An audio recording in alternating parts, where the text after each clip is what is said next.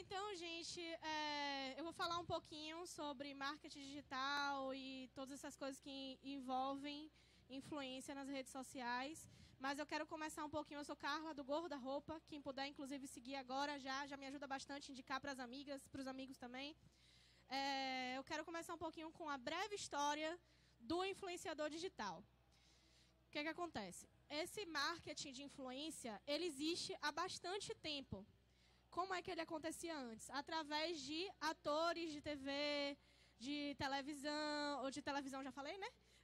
de cinema e todas essas coisas. Como é que acontecia? Começou com cigarros. Cigarros eram vendidos por influenciadores que estavam na televisão.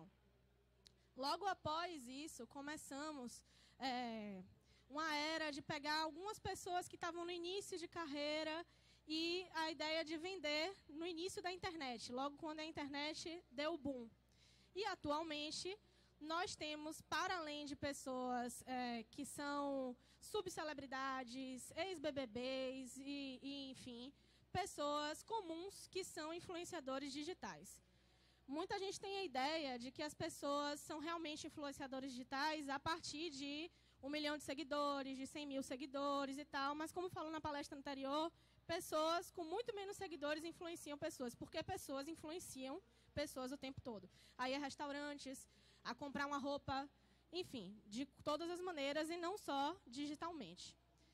É, falando um pouquinho do meu Instagram, que a gente vai, cada um vai falar um pouquinho do, do, do seu. É, eu tenho um Instagram de moda plus size, como eu falei, mas ele não é só um que fala sobre consumismo. Eu falo sobre militância. E militância é mais complicado para trabalhar. Por quê? Porque você tem um número de haters ainda maior do que outros tipos de influenciadores que falam sobre comédia, que falam sobre outros temas. Não é desmerecendo nem nada disso, mas realmente uma pessoa gorda que fala sobre moda já sofre um preconceito e se ela luta contra a gordofobia é pior ainda. Para quem não conhece gordofobia, é uma, um ódio a pessoas gordas, é você não querer passar na mesma rua, é você ignorar que essa pessoa existe, é você achar que todo gordo é doente e isso é mentira. Nós temos pessoas magras que são doentes, temos gordos que são doentes, temos pessoas. E pessoas são pessoas que, independente da sua forma física, têm problemas ou não. Então, eu tentei, é, logo quando eu lancei o guarda-roupa, eu não sabia que ele ia tomar uma dimensão é, grande. Porque eu achei que eu ia postar esses achados, ia falar sobre gordofobia, porque eu queria ajudar outras mulheres a se vestirem, se sentirem bem consigo mesmas. Só que o que aconteceu? Eu acabei atrelando a isso o feminismo, é, acabei atrelando a moda, como eu falei, a luta contra a gordofobia e também falando sobre relacionamentos abusivos, que são tipos de relacionamentos que adoecem as mulheres. Claro que existem é, relacionamentos abusivos com homens também, o contrário, mas relacionamento abusivo acontece em todos os lugares, mas eu falo mais sobre mulheres. E assuntos do dia a dia. E aí, como é que eu descobri que eu estava influenciando pessoas? Eu descobri que eu estava influenciando, influenciando pessoas não pelo meu número de seguidores, mas porque eu recebia mensagens de pessoas que confiavam em mim o suficiente para se abrir e mostrar o que elas estavam passando, como como estava sendo o dia delas, e eu recebia às vezes vidas de pessoas chorando dizendo que há anos não encontravam a calça jeans e hoje eu estou aqui com a calça jeans, eu sou tamanho 52 eu indico onde pessoas podem encontrar a partir dos 50. Então eu facilito, eu sou uma agente facilitadora dessas pessoas. E, e, é muito legal estar tá num palco que não tem tantas pessoas gordas, porque as pessoas gordas já sabem o que eu passo. Eu quero falar para as pessoas magras para que elas tenham respeito por essas pessoas que são diferentes. A gente não sabe que racismo é errado, a gente não sabe que, que você xingar uma pessoa gay, você você proferir palavras, ofensas errado, por que, que a gente acha certo falar sobre pessoas gordas como se elas fossem anomalias? Então, a ideia é, através da estética, através de muita conversa, incentivar e ajudar essas pessoas magras é, a entenderem que pessoas gordas são pessoas como outras qualquer. Então, é isso. Eu vou passar. Vocês decidem aí a ordem. Oi, gente, eu sou o Jefferson. É, o Jefferson Finati, conhecido mais como Finati mesmo. E junto com minha namorada, minha noiva, a minha rainha, como eu chamo. Oh. Eu já sou envergonhada, ele ainda faz isso. É. Vai, fala. Ah, pode Então, essa é a Isabela Salles, ela tá com vergonha, gente. A gente tem um Pouco canal não. no YouTube é, chamado Gamei. E, consequentemente, a gente tá- passou a criar conteúdo também para o Instagram, que também se chama Gamei. E, e a gente vai falar um pouco o motivo de que de a gente ter criado esse canal. A gente fala sobre relacionamento. A gente tem a. A gente pensou. Vou, vou começar do início. É, a gente sempre conversava com nossos amigos e eles tinham algumas, algumas situações é, em relacionamentos que eram iguaizinhas às situações da gente. Só que é, vários deles tinham é, resolviam ou tinham atitudes totalmente diferentes da nossa. E é muito, muitas das vezes a atitude deles levava deles levavam para um caminho muito complicado, quando a gente em muitas dessas situações ficava tranquilo, ficava de boa. Então a gente pensou, a gente já consumia muito YouTube, a gente pensou, vamos falar sobre relacionamento no YouTube pra gente mandar uns vídeos pra essa galera, né? Nossos amigos. E até porque também a gente se achava muito anormal, porque a gente vivia situações que todo mundo vive. Tipo, situações completamente iguais. E a gente acabava tomando outra. outra indo para outro rumo e eles para outros completamente diferentes. Mas a gente via que eram a mesma situação. E aí todo mundo começava a falar pra gente, tipo, não, vocês são muito, muito diferentes. Porque eles agiam da mesma forma e só a gente que agia diferente. E aí não, aí eles questionaram isso pra gente. E aí, a partir disso, a gente resolveu, tipo, se mostrar. Não, não é possível que só a gente pense assim. E a gente acabou encontrando outras pessoas que pensavam igualzinho a gente. Foi a partir daí que a gente começou a entender que, de alguma forma, o canal que a gente criou estava influenciando pessoas e estava aproximando pessoas, criando uma comunidade. E foi daí que surgiu o Gamei. E, e basicamente é falar sobre relacionamento tendo o nosso como base. Ah, a- gente recebe muito recado, muito, muitos recados complicados, como relacionamento abusivo, é, em relação à, à sexualidade, principalmente de criança. Crianças mandam recado pra gente. E a gente, de alguma forma, claro que partindo de uma, às vezes, muitas vezes de uma, de uma, é, de uma ajuda profissional, a gente responde muitas pessoas que, que mandam recados pra gente em relação a namoro e, e, e- tal. Então, a partir daí a gente começou a, a pensar de uma forma mais marca, né? A gente viu que de alguma forma estava influenciando, de alguma forma estava trazendo pessoas para poder conversar nessa comunidade junto com a gente. E a gente começou a pensar sobre marca. Foi aí que a gente teve que registrar o nome Gamei, a gente teve que abrir empresa e todas essas coisas já para a gente trabalhar exatamente com marca. E aí estamos aí, estamos aí até hoje. A gente começou em 2012. É, 2012, não foi? Foi o primeiro vídeo que a gente lançou em 2012. A gente já trabalhou com, é, falando com marca, a gente trabalhou com algumas marcas. A gente, a gente entende que até hoje não é o nosso principal é, fonte de renda. A gente, em verdade, a gente, a gente nem, a gente prefere nem falar que recebe alguma coisa porque a gente não recebe nada, é, assim, né? No geral, mas estamos aí ainda conversando com, com pessoas que querem saber sobre o relacionamento, principalmente sobre o nosso. E de alguma forma, é, é, como é que eu posso dizer assim? Não sei se eu posso falar dessa forma, mas é, é tipo, a gente educa e se educa em termos de relacionamento, né? Porque às vezes tem alguns maus costumes, que a gente pode chamar assim de maus costumes, que não é em, em relação a dois, mas em relação individual, que acaba refletindo em dois. Então a gente vai educando e se educando, porque a gente não foge disso não. E também pelo fato de experiência. Tem coisas que eu tenho experiência e ela não tem. E eu passando a minha experiência, talvez ela aprenda com a minha experiência e assim vice-versa. E é isso que a gente tenta pra- passar para as pessoas que nos acompanham.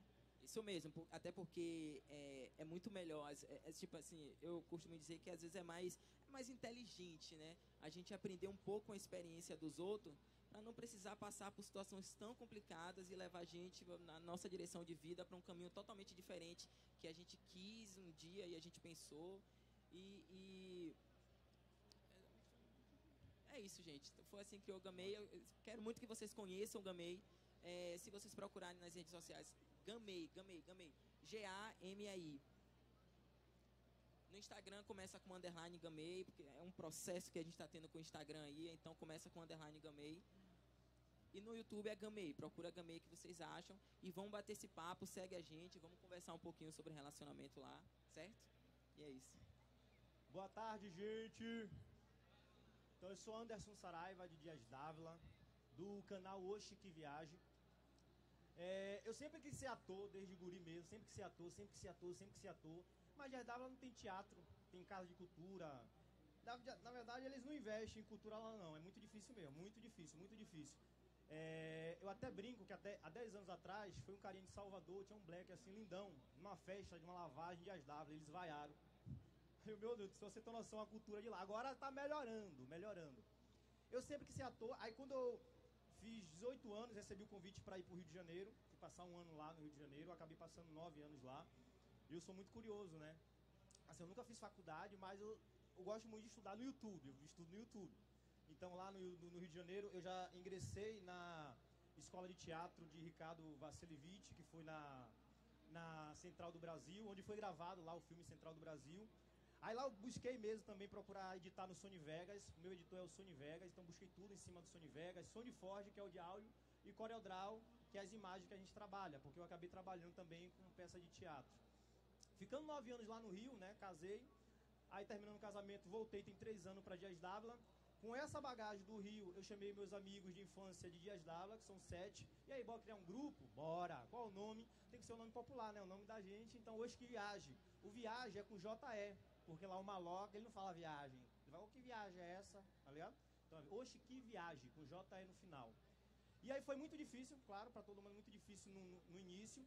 E aí eu pesquisei, pesquisei, pesquisei, porque eu sei que tudo, para tudo na vida existe técnica, que a gente, para tudo, até para conquista, para cantado, tudo é técnica. Então eu fui pesquisar como é que funciona o algoritmo do, do Facebook, como é que funciona a rede. Então, a, a, acabei aprendendo muitas coisas. A minha casa, que era a minha casa, virou a base mesmo. Hoje eu moro com, com meu, praticamente meu pai. Minha casa virou a base dos que viajam, para a gente viajar mais ainda nesse mundo. É, eu dou aula de teatro lá em Dias Dávila. Como falei, são sete integrantes do Oxi. E a gente procura sempre falar vídeos do cotidiano. É, a gente sabe que assim o vídeo no YouTube, por exemplo, ou no Facebook, lembrando que eu comecei no Face, a gente começou no Face. É, mas o vídeo para funcionar, para fluir, é através da interação do público, né? Aí sim vai ter, quanto mais a galera comenta, quanto mais a galera interage, mais tráfego tem. Então a gente foi em prol disso, né? Falei, cara, como é que eu vou fazer para o pessoal se identificar? Porque a galera para interagir só interage se identificando. Então a gente pode criar um tipo de listas, por exemplo, vamos criar uma, é, falar sobre irmão. Mas se eu falar sobre irmão, eu posso atingir um certo irmão. Pode ter outros tipos de irmão. Então bora fazer essa lista. Foi quando surgiu tipos. Então a gente começou a fazer tipos, tipos de irmão. Aí faz o irmão bonzinho, o irmão, entendeu? E a gente sempre faz vídeos sobre o cotidiano, sobre vídeo de pai, é, tipos de pais, tipos de abordagem, porque a gente também acabou pegando é, é essa ideia de que tudo existe tipos, para tudo existe uma lista para praia, para uma infinidade, cachaça, para tudo existe lista. Então a gente pode alcançar todo mundo. A gente posta vídeo toda segunda-feira. É, faz com duas câmeras. Aí que é legal, assim, tem um grande desafio da gente que demorou para eu aprender, porque a gente usa uma, uma Sony e uma Nikon. As câmeras têm um contraste totalmente diferente, uma é azulada, uma é amarelada. Então aí a gente teve que cair para inter, a internet para aprender também sobre essa coloração dentro da edição, para deixar né, as câmeras com cores é, parecidas. É, geralmente eu que edito os vídeos dos que viajam. A gente é, procura fazer sátiras também de problemas sociais. É, a última sátira que funcionou muito com a gente foi a sátira da música Taca Taca. Que foi na época que o feijão estava em alta, a gente fez a, a alta do feijão, tá em alta, tá em alta, em alta, em alta. E eu falei, pô, a gente pode virar os personagens. Era eu e Negueba, então a gente poderia virar o saco do feijão. Foi quando a gente pegou tipo uma fralda e botou tipo um saco de feijão, jogou na internet. E eu aprendi também que os cinco primeiros segundos da internet são primordiais. Aí nesse vídeo, especificamente esse vídeo, eu consegui um drone através de parceria. Então coloquei para o vídeo já abrir com o drone subindo e mostrando na comunidade, porque a, o povo gosta de se ver, né? Quanto mais a gente mostra pessoas, mais a gente tem interação nos nossos vídeos. E aí fluiu bem no Facebook esse vídeo, fluiu bem no YouTube. Aí o programa da, da Eliana também ligou pra gente, fiquei felizão. Eita, desgrama. que eu pensava que era que eles chegavam na gente assim, fosse um ofício lindão, uma coisa simples, simples, simples. Oi, sou do programa da Eliana aí, quer participar? Aí será que é verdade, velho? Vamos ver. Aí foi, aí funcionou. Nós fomos pro programa da Eliana, aí concorremos lá o famoso da internet, ganhamos. A partir desse momento que foi assim um ponto primordial na, na, na história do Oxe, porque a gente abraçou muito a galera lá, foi voto popular, e a gente falou da Bahia e é, exclusivamente de Dias d'Ávila, porque a galera de lá, então a galera abraçou mais ainda a gente quando a gente voltou. Então o tráfego ficou muito forte. Então a gente aproveitou o tráfego para poder estar tá movimentando isso. É, aí depois a gente também, dentro dessa paródia, que estou falando da paródia especificamente, essa está em alta, que foi praticamente o nosso melhor trabalho. É, o programa Legendários também chamou a gente para o programa Canjica. E a gente ganhou lá também. Aí falou o nome da cidade de novo. Olá, sou de Dias Dávila. É, manda lá um beijo para Dias Dávila. Aí, quando, aí falaram. Aí quando chega na cidade, aí a galera faz uma festa lindona pra gente. É, eu tô com o Facebook lá, velho, com 900 mil pessoas. Mas o Facebook, o tráfego caiu pra caramba, né? O Facebook tá ruim. O meu Facebook tá muito ruim, muito ruim. Tava lindão, tava lindão. Aí de cinco meses pra cá, caiu. Aí eu era fraco, sou fraco ainda, mas não tinha Instagram. Até tava conversando com você quando a gente tava indo pra lá, pra Conceição do Coité, não foi? Serrinha, foi pra Serrinha. Aí ela me passou, inclusive, um bocado de dica que eu absorvi. Lembra que eu falei, velho, eu tô com foco para chegar em 10k. Você falou das fotos claras, interação. Absorvi tudo, do story. E aí cheguei aos 10k. Claro que a gente está usando agora a página do hoje para poder migrar essa galera para o nosso canal, migrar essa galera para os nossos Instagrams.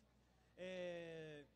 Os nossos vídeos, antes a gente fazia o roteiro, mas era muito difícil, e também como a gente não tem dinheiro, ficar imprimindo é muito complicado. Então, e como é tipos, é, hoje em dia a gente, através do nosso grupo, a gente dá a ideia do tema. Ah, vai ser tipos de quê? Disso, disso e disso. Cada um já dá a ideia no grupo. Aí no dia seguinte, por exemplo, a gente já, já melhora esse roteiro e meio que improvisa baseado num contexto. Um roteiro de, me, de início, meio e fim. E é isso, a gente aprendeu também que é interagindo mesmo com o público que o alcance fica melhor, né? Fica massa. Então a gente está focado nisso, em trabalhar para as pessoas, trabalhar para os que as pessoas gostam, né? Porque quanto mais, mais ele se envolve, quanto mais ele interage, mais o algoritmo entende que ele vai querer o nosso conteúdo e assim, graças a Deus, está fluindo. É isso que eu tenho para dizer a princípio. Olá, boa tarde, lindos e lindas. É, meu nome é Antônio Alves. Atualmente eu trabalho apenas com o Instagram. Não, só com o Instagram não. Eu também sou operador de telemarketing. Hoje, é, até minha supervisora deve estar até me assistindo, que ela me liberou hoje para me estar presente no evento. E eu acho que uma das maiores dificuldades hoje para ser um, um influenciador, é, a minha é a, vencer a minha mãe. Que minha mãe não aceita isso de jeito nenhum. Quando ela vê, é, ela me assiste, ela vê eu gravando um vídeo, ela fala, aí, você está perdendo tempo fazendo isso, é, isso não vai te dar um recurso. Até que chegou um dia que uma pizzaria mandou uma pizza pra mim e ela tava presente. Ela falou: Da onde foi que você arranjou isso? Aí eu falei: O pessoal que me assiste que mandou pra mim de uma pizzaria. Ela, agora sim eu tô vendo fluir as coisas, né? é, eu não tenho muita história para contar como eles que já têm canal no YouTube, já trabalham há mais tempo. É, eu tenho um pouco mais de seis ou sete meses fazendo vídeo pro, pro Instagram. É, pro YouTube, eu tentei começar há três anos atrás com vídeos de futebol, mas não deu certo. Algumas críticas realmente acabaram me distanciando. Mas hoje é o meu maior sonho ser um grande influenciador, que eu acredito que na, aqui na Bahia tem poucos. Eu acredito que tem poucos porque, pelo que eu vejo hoje, o que é mais reconhecido são os humoristas como o Leozito, o Christian, E no meu Instagram eu tento trazer também um pouco do humor, de moda, futebol às vezes. E é isso, eu não tenho muita história para contar ainda. Tá? Obrigado. É interessante o que você falou sobre as fotos claras. É bom a gente trazer essa vivência também para cá. Uhum. Já foi perguntado na outra palestra, mas eu também quero perguntar agora. É, alguns de vocês têm vontade de ser influenciador digital? Você é influenciador? Você já é? você já é. Você aprendeu as coisas, vamos dizer, na marra, ah, tipo, vendo as coisas acontecerem, ou você fez muitas pesquisas? Como foi para você?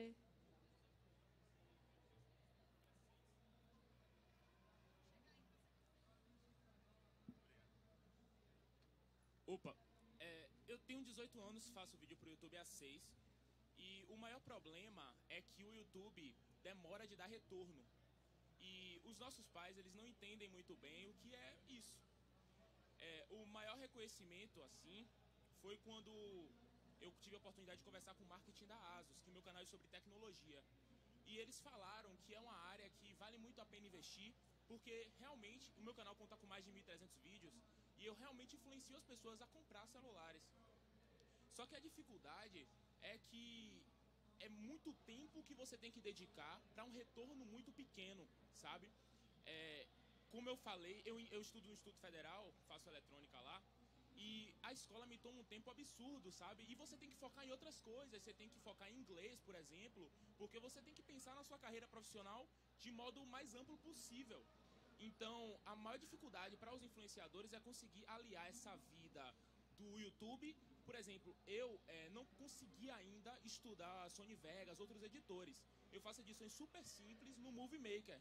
E eu consigo perder muito, perder não, ganhar, né, entre aspas aí, é, fico muito tempo editando um vídeo e aí o vídeo vai e bate duas mil visualizações, três mil, e isso não é tanta coisa. O meu canal tá chegando perto aí dos 90 mil inscritos.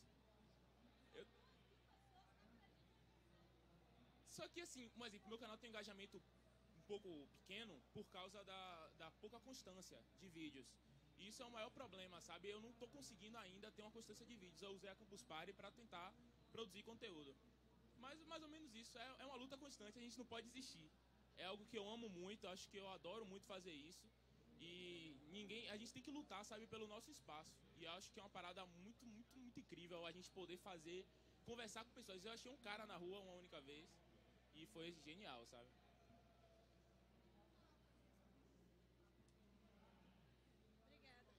Ó, oh, uma coisa. É, eu sou formada em comunicação social produção e cultura. Eu, como, como eu tenho essa vivência da faculdade, de, de marketing, de, enfim, mil coisas, eu aprendi, antes de pensar em ser uma influenciadora digital, algumas técnicas que facilitariam nesse processo. E uma coisa que você falou aí, não, porque às vezes é muito difícil ser influenciador, tal, o retorno. Aqui em Salvador é muito, na Bahia inteira, na verdade, é muito complicado. Inclusive foi uma coisa que foi passada também na palestra anterior. O que, que acontece? É, o de fora, a grama do vizinho parece sempre mais verde. As pessoas de São Paulo, Rio de Janeiro, nada contra essas pessoas, pelo amor de Deus. Adoro, sigo muitos influenciadores de lá. É, e o problema não são eles. O problema é a valorização não é, o influenciador local ele não é valorizado. Então assim, tá aqui é extremamente importante para mim, extremamente e acredito para todos nós, porque é, a gente não recebe eventos tão grandes quanto esse. E assim, o que que acontece? Remuneração. É, você falou que você você falou que recebeu uma pizza e tal. Eu quero falar também para quem já pensou em ser influenciador. O influenciador ele é um vendedor, seja de ideias, enfim, de mil coisas. Ideias custam dinheiro. Tudo que está dentro da nossa cabeça, que pode ser executado, isso dá dinheiro. Quando você tem um recebido que a pessoa diz assim, vou te mandar uma blusinha, e você recebe essa blusinha e você posta nos seus stories, você está vendendo essa blusinha. Você está ganhando com isso, você está ganhando uma blusinha que pode ter sido para a indústria lá, para a loja e tal, saiu o preço de 10 reais. Você está vendendo uma coisa que não custa 10 reais, que custou 10 reais para ele, mas que para ele repassar para as pessoas é 70, 80 reais. E você não está recebendo nada com isso além de uma blusinha. Claro que existem permutas, existem divulgações que são muito bacanas para o um influenciador. Mas é importante saber que o influenciador ele é um vendedor. E ele, assim, você quando entra numa loja que você é recebido por alguém, esse alguém recebe um salário. Você tem que saber fazer seu Media Kit, que inclusive para quem não sabe o que é, é bom dar uma pesquisada, que são todos os seus números, quem você atinge, por que você atinge esse público e por que é que você recebeu uma blusinha e mostrar essa blusinha para alguém nos seus stories, significa que você está vendendo pelo menos, pelo menos no raso, dependendo do seu número de seguidor, claro mas pelo menos umas 20 blusinhas E daí para mais, para muito mais, porque assim, os stories somem 24 com 24 horas, mas você pode botar nos seus destaques. Se você coloca nos seus destaques, outras pessoas vão consumir aquilo também. Então é o papel de valorização, já que a gente já tem essa dificuldade de, de ser visto lá fora, que a gente aqui dentro consiga se valorizar o suficiente para saber que a gente é vendedor, que isso também não distingue a gente de ser militante. Porque todo mundo aqui, assim como vocês estão falando, olha, vocês é, falam sobre o relacionamento, é, você falou de, de falar da, de Dias Dávila, de dizer o nome. Pô, você não sabe como essas pessoas devem se sentir, né? É, é, é, militância, tudo isso é militância. Você chegar para sua mãe e dizer que seu trabalho é importante e você continuar é resistência. Então, tudo isso é militância e militância é resistir. Então, tudo isso custa dinheiro. E custa dinheiro e tempo de vocês. E tempo é dinheiro. Então, é bem mais complicado que a pessoa achar que, ah, vou te enviar um negocinho aqui e é só isso aí, acabou. Ou você, quando você pensa assim, vou recusar esse convite. Por quê? Ah, mas ela é muito metida, tá recusando um convite desse. Não. Não, não é isso. É porque, e aí? O que, é que eu vou ganhar com isso? Vai ser um público que vai ter a ver comigo? Eu sei que meu público, por exemplo, ele é adolescente até os 35 anos. Eu posso ir numa palestra de terceira idade? Posso, porque existem mulheres gordas nessa palestra, então me agrega. Mas eu posso simplesmente chegar, eu com meu cabelo alisado, com meu cabelo ruivo, chegar numa marcha do empoderamento crespo e querer, falar no lugar de fala dessas pessoas?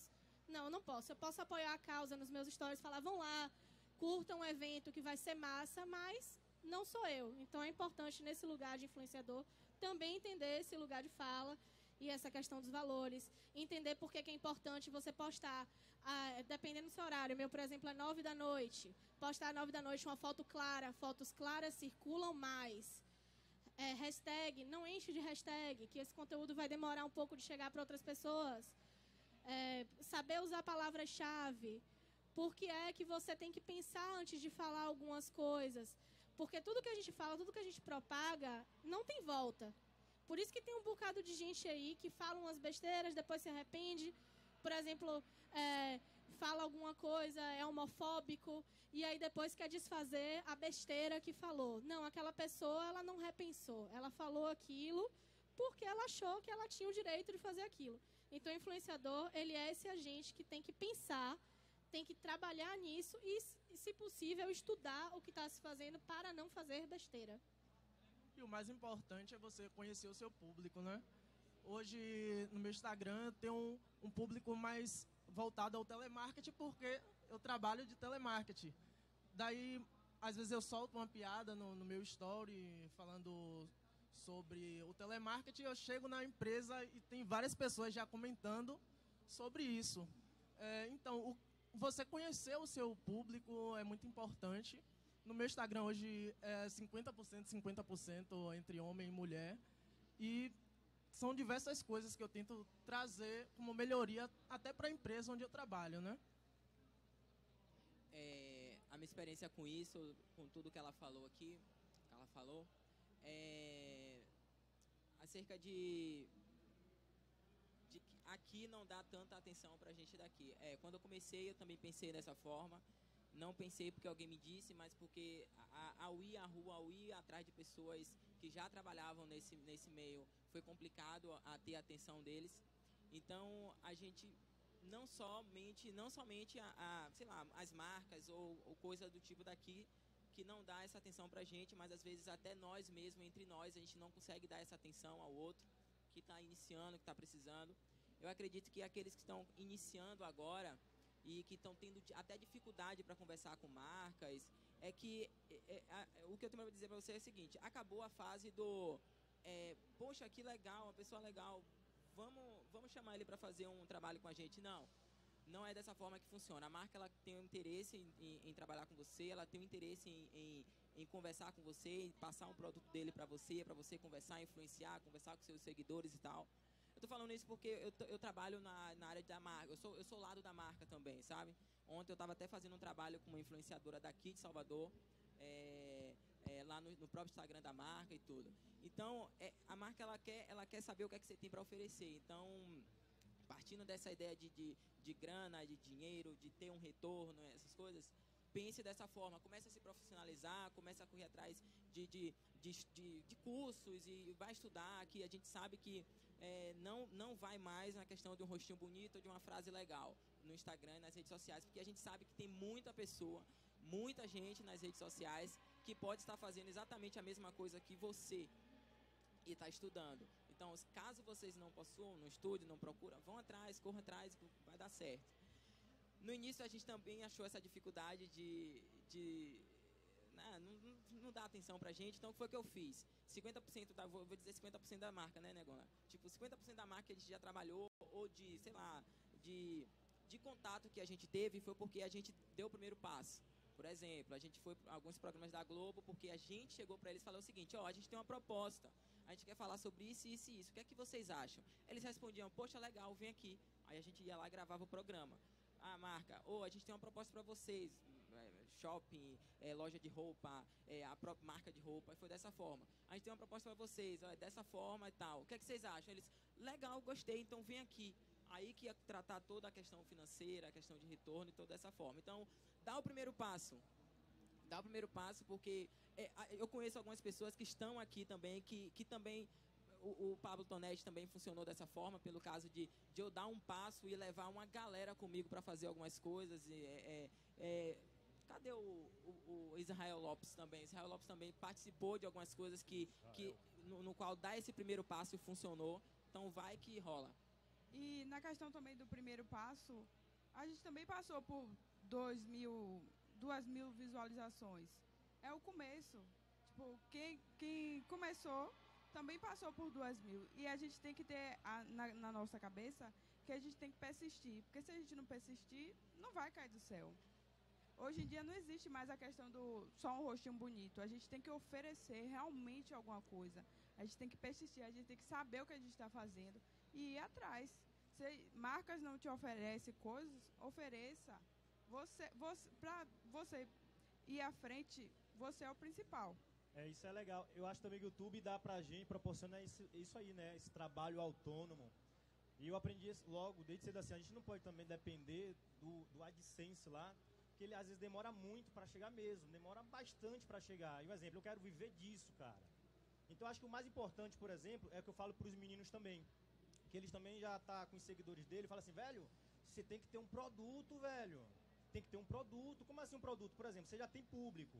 O, o YouTube são, é muita gente, né? São sete pessoas para o YouTube dar, dar dinheiro, por exemplo. Bimbo, Bimbo é um dos integrantes. Você faz o quê? Eu sou barbeiro, então vamos bombar a sua barbearia. A gente está usando o YouTube, na verdade, para poder melhorar a nossa imagem. Em cima da nossa imagem, a gente poder vender o nosso produto. Eu estreiei o stand-up agora em fevereiro, é, em Dias Dávila.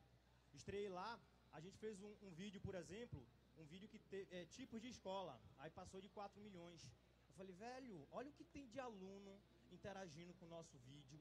Velho, então isso aí rola o projeto escola. A princípio eu fiz algumas cidades, mas eu que faço produção, então produção de cidade é, um, é uma porrada que a gente leva, né? Porque tem que ir de apoiador em apoiador, em apoiador, em apoiador, fazer tudo acontecer. Geralmente é 20 dias ao mês na cidade. E eu descobri que a gente produz é, cidade, dá esse trabalho todo, e às vezes o resultado não é o que a gente esperava. Já na escola, por exemplo, no nosso caso, a gente está aproveitando a mídia que a gente tem. O YouTube dá o dinheiro, mas é o dinheiro para a gente comprar o material.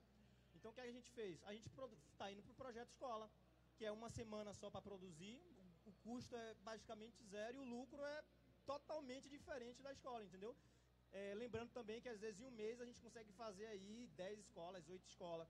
Então para a gente está sendo bem mais rentável também do que o YouTube é, propriamente dito. Eu já estou eu tô satisfeito eu estou descobrindo algumas coisas ao longo do tempo.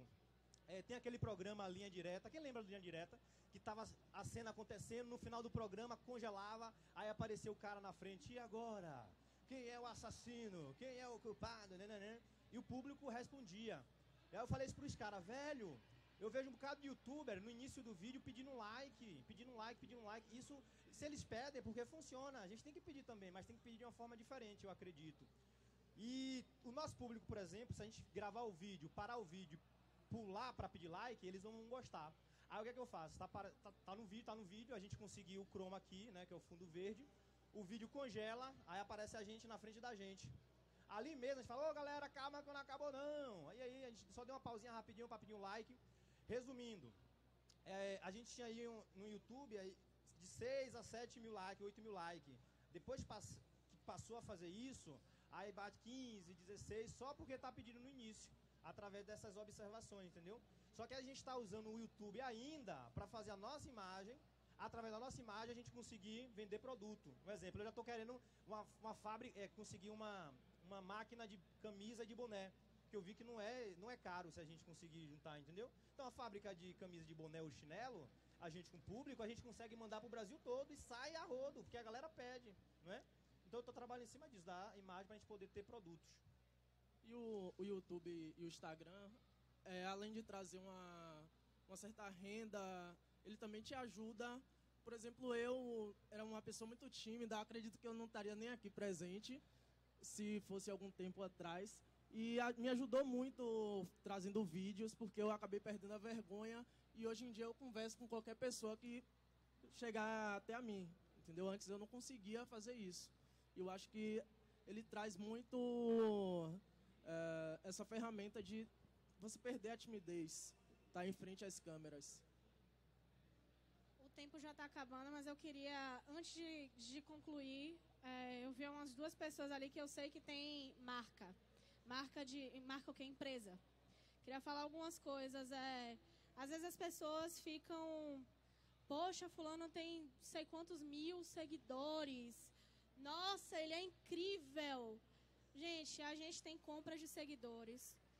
Pessoas compram seguidores. Infelizmente, o que é o que? Muito injusto, muito escroto com a gente que trabalha e sabe exatamente quem é que está seguindo a gente, por que está seguindo.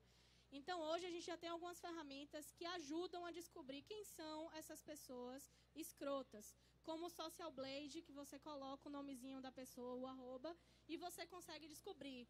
Mas se você não quiser usar um aplicativo, não quiser, é, enfim, passar por esse caminho, vocês podem analisar da seguinte maneira a gente sabe que o Instagram não está funcionando muito bem na entrega. Ele entrega apenas para 10% do número de seguidores. Então, um, você falar para eles para ativarem notificações funciona muito, é incrível. O público gosta de você, porque se ele não gostasse, ele não estaria ali. Então, eles vão te ajudar fazendo isso para poder fazer com, com, que o conteúdo chegue. E outra coisa, quando você é, for olhar, você como empresa, olhar o perfil dessas pessoas, perceba se tem interação. Interação essa é, por exemplo, essa semana eu pintei meu cabelo, eu fui num salão, fiz uma parceria com um salão e cortei o cabelo, foi uma mudança. Eu postei a foto e tem lá um número de curtidas bacana, massa, mas curtida também se compra. É, aí eu olho lá, tem comentário, tem dois comentários, a pessoa tem 100 mil seguidores, tem 300 curtidas na foto, ou sei lá, tem até 10 mil curtidas em um comentário, isso é normal? Isso não é normal, chega a ser ridículo. E aí é muito fácil, muito perceptível você compreender se aquela pessoa é realmente um influenciador digital sério, se você deve empreender com ele, se você deve acreditar que você deve entregar nas mãos dele esse produto para que ele faça com que para que esse produto chegue a outras pessoas então é bem interessante essa análise e qualquer um pode ver a olho nu. Às vezes a gente fica, como eu disse no início, assustado. Fulano tem não sei quantos mil. Fulano deve ser demais. E aí às vezes até encontra na rua e faz daquela pessoa um Deus. Olha, meu Deus, encontrei fulano de tal. E fulano de tal olha para você e caga para você. Porque ele não ele se acha tanto por ter aquela quantidade enorme de seguidores e às vezes não são reais. E outra coisa para encerrar aqui minha fala é a questão da humildade. É, a, gente, a gente vive num mundo que muitas pessoas são influenciadores, são youtubers e coisa e tal. E dessas pessoas, a gente tem aquelas que deixaram o sucesso subir a cabeça e que mudam seu conteúdo depois de ter conquistado um certo público. O que é o que? Erradíssimo. Porque você começou de um jeito, claro que mudanças para o bem acontecem e fazem com que você mude seu discurso para melhor. Mas discursos que vão para pior, eles não são bons discursos, né? Então, minha palavra aqui é humildade sempre. Desejo que as pessoas que estão aqui, que, que querem ser influenciadores digitais, que eles queiram propagar é, boas coisas, boas energias, que sempre que tiverem que levantar uma, não tenham medo de levantar as suas bandeiras. Porque se você é contra a homofobia, se você é contra a gordofobia, se você é contra o racismo e tudo isso, você não tem que se omitir por medo de perder seguidor. Claro que eu compreendo pessoas que não querem falar sobre alguns temas porque tem uma parceria, não vai falar mal da empresa que tem a parceria. Mesmo assim, eu já julgo porque a pessoa tem uma parceria com uma empresa que é homofóbica, vamos dizer assim. Mas, enfim, é da pessoa. Então, é, é muito disso de você ser humano. O influenciador digital, ele não é de mentira.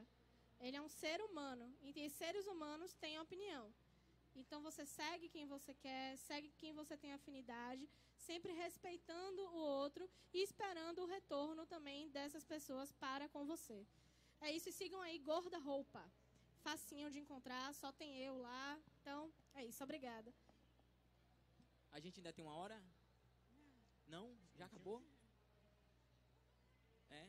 Então Alguém tá. quer fazer pergunta, gente? Algum Alguém quer fazer pergunta? A hora é agora. Calma, gente, um de cada vez. Ele não tira o chapéu. Eu acho que já fez muita pergunta, né? Logo na- no- com a- o pessoal da primeira, né? É, eu acho que é- ah, lá, ela tem.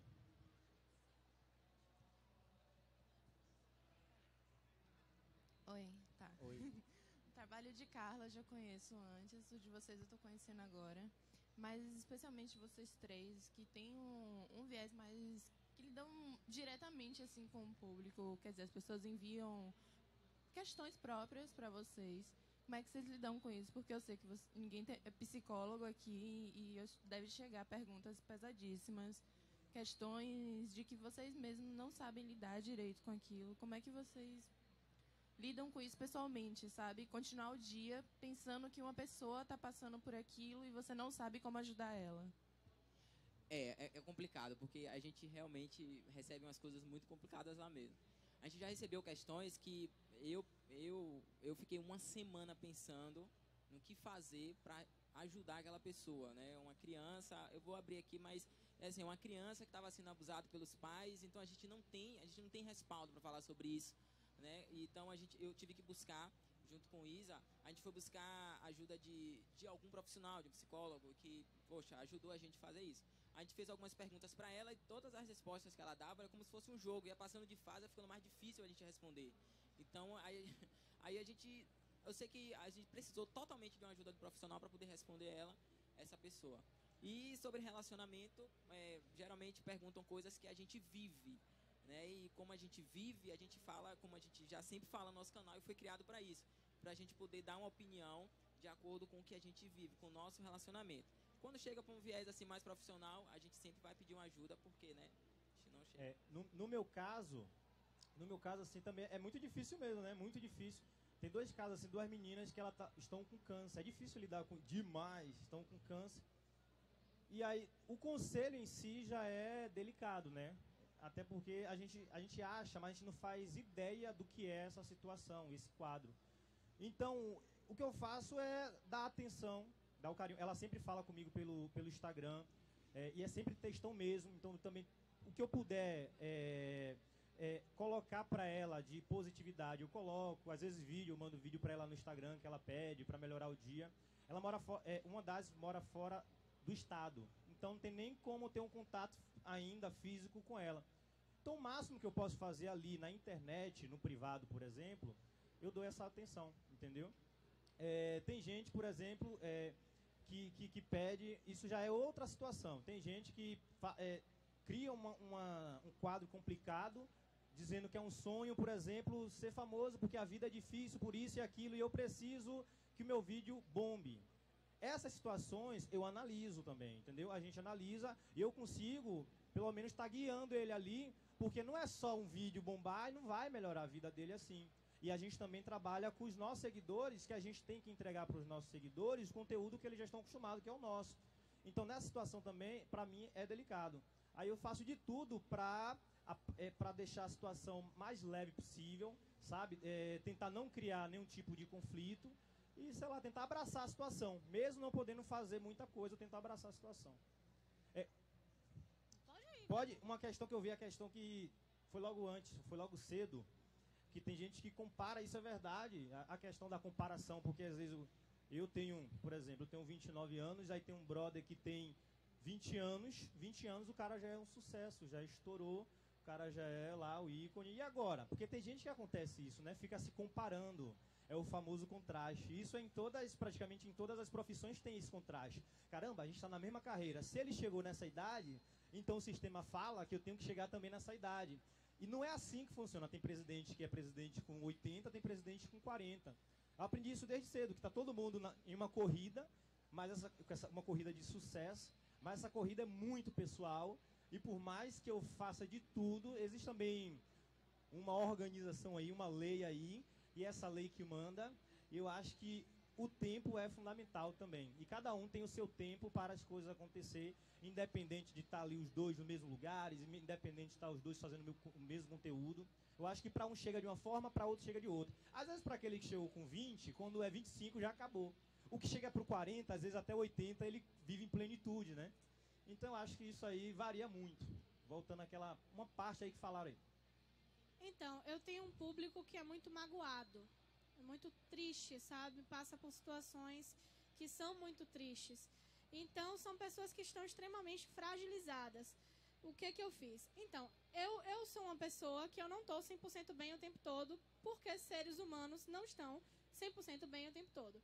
Então, quando eu recebo alguma mensagem, algum direct falando de alguma situação muito complicada, eu deixo muito claro que terapia é uma das coisas mais importantes que uma pessoa pode fazer. Não é porque eu consegui fazer um Instagram que eu falo sobre empoderamento feminino, sobre gordofobia e moda plus size, é, que eu sou a detentora de todo o conhecimento do mundo que posso ajudar todas as pessoas a saírem do fundo do poço. Não, não posso. Eu posso te auxiliar, te dizer, ó, eu fiz isso aqui e isso aqui foi importante para mim, me ajudou a melhorar muitas coisas. Eu era um adolescente que usava calça jeans, bota e casaco para ir à praia. E eu morava na frente da praia. Então eu recebo relatos exatamente iguais aos que a, o que eu passei. Então eu falo das minhas experiências, como foi que eu consegui mudar isso e tal, mas deixo sempre muito claro, porque é, tem muita gente, muito influenciador, que acha que é psicólogo. E isso é errado, porque a gente não sabe. É, temos pessoas que são é, potenciais suicidas. E aí, às vezes, a gente deixa de responder uma mensagem, ou a gente responde de maneira errada, e isso pode ocasionar uma morte. Então, é, é preciso ter muito critério com as coisas que a gente faz, com o que a gente posta, com o que a gente diz, porque são outras pessoas que estão ali. E não acreditem, e sempre digo isso, para que as pessoas não acreditem na vida editada do Instagram. Isso é muito importante, muito, muito. Essa semana eu postei uma foto, é, postei duas fotos naquela galerinhazinha, um carrossel. Uma que eu tô super bem, tô, tô mega maquiada, tô super bonita. E a foto seguinte, que foi exatamente a hora que eu estava postando, eu estava muito mal psicologicamente. Eu tinha tido um dia de merda, eu tava com a cabeça doendo, com o estômago doendo e gripada. Mas se eu postasse só aquela foto ali, eu estaria sendo mentirosa com o meu público. Porque eles acreditam, assim como eu muitas vezes acreditei, na realidade agitada das pessoas. Que é aquela pessoa, tipo, que tá com, a, com o corpo perfeito, não tem uma celulite, não tem uma estria, e aí tá aquela foto no, numa praia incrível. Ela não, não é aquilo o tempo todo. Ela não, essas frases, eu tenho uma agonia, vocês não têm ideia de frase de efeito. Que seu dia seja iluminado, não sei o que lá, não sei o que lá, porque. É, e as inimigas no chão, não sei o que, não sei o que. Que inimigas no chão? Assim, você desejar coisas boas para os outros é legal, mas gente que tem frase de, de, de efeitinho todo dia é um saco. Você não tá bem todo dia. Então, assim, é, é muito importante você ser pessoa. Você mostrar para os seus seguidores o que você realmente é e não essa realidade agitada. Tem mais perguntas, gente? Perguntas? Não acredito que vocês não vão fazer mais perguntas. Sério? Alguma pergunta? Israel Lopes? Vocês sabem o tamanho da expansão de vocês lá fora, em outros estados como São Paulo, Rio de Janeiro, esses estados assim?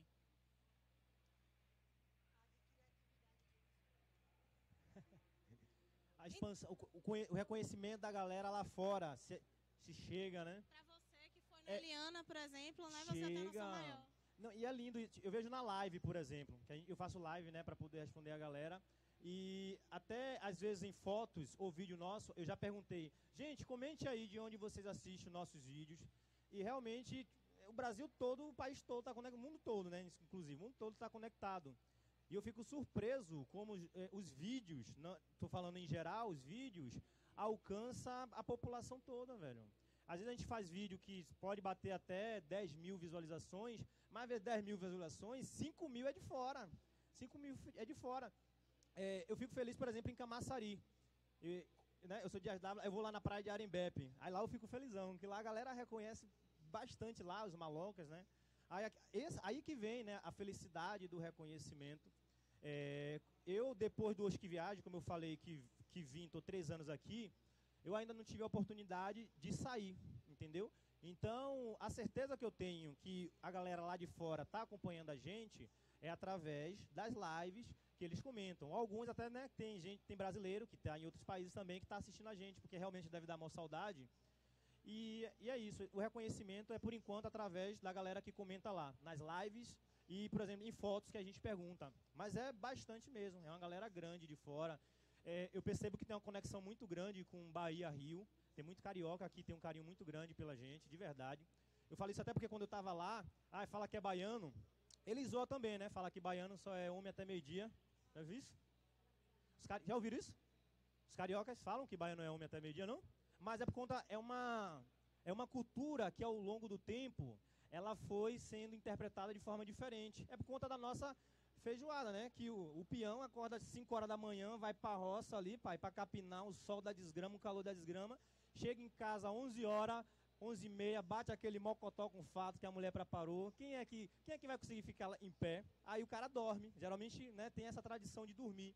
E lá fora, eles têm muita piada em cima disso. Ó, velho, eu sou- isso foi o único bullying que eu sofri assim, mas eu levava na resenha. Ó, velho, já é meio-dia, viu, baiano? Eles brincam muito em cima disso. Apesar de que eles têm um carinho muito, muito grande pelos baianos. É,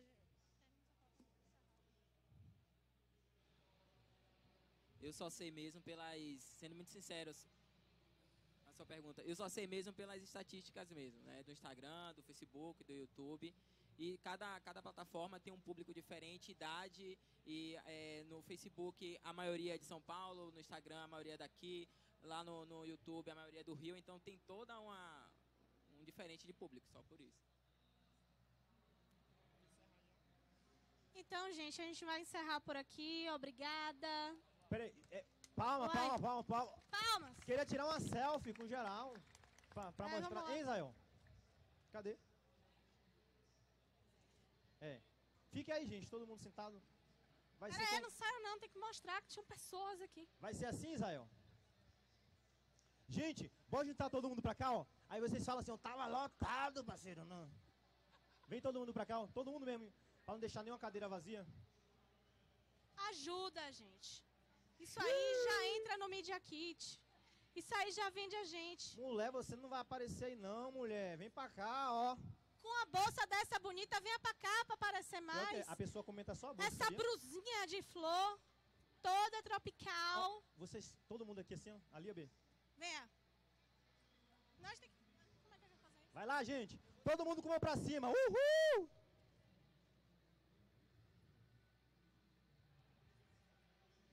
Foi?